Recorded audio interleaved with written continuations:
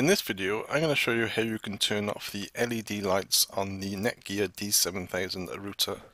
You can turn off all the lights bar the power indication light and the USB indication lights. So to do this, you need to get into the router settings, so open up a web browser of your choice, and in the search bar at the top, type in routerlogin.net. If that doesn't work for you, you can also find some details on the underside of your router. If you've forgotten your master password, if you click the cancel button, it usually gives you the opportunity to enter your router serial number and, and it should help you retrieve your um, password.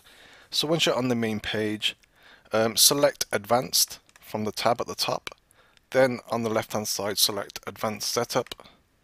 And then if you scroll down a little bit, you can see right at the bottom here it says LED control settings. So it gives you three options. It says enable blinking on internet and so on disable blinking on internet and so on, or you can turn off all the LEDs except the power LED.